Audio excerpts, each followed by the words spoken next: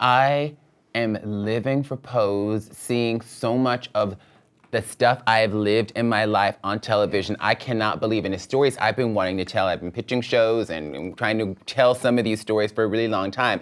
And I gag, I'm like, oh my God.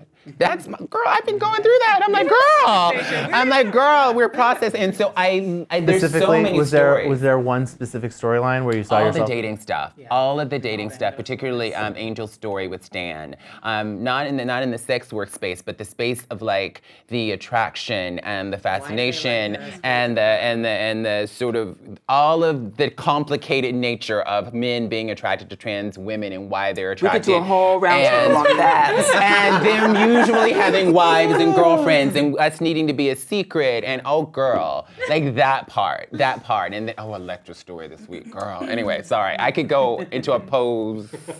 And so for me so for me it's so exciting to see those stories because that's my life and i've never seen that on tv before. And there are trans i know a lot of other trans folks out there like some people like they're telling too much about business. Um, hi, Valerie Spencer. Um, but I am living for that. So I think we need so many stories. I find myself saying the the phrase "a post-pose world" a lot lately. Because like all the questions are changed now. Like mm, everything that we thought was a given is, is no longer stable. Here, everyone's like, "Oh, you can't have a trans actor in the lead, or you can't have like unknown actor. You can't. There aren't trans directors. There aren't trans writers." You can't have a trans love scene.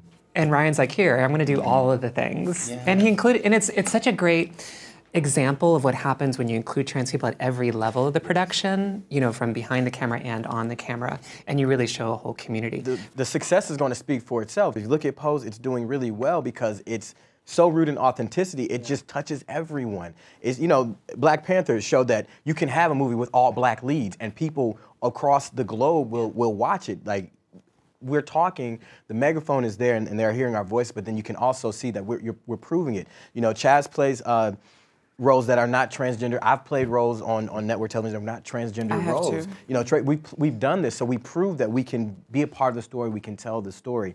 And I feel like now it, it can't be ignored. It's like there's too much proof and there's too much voice. So just go where go go where where where, where the, the tide is pushing us.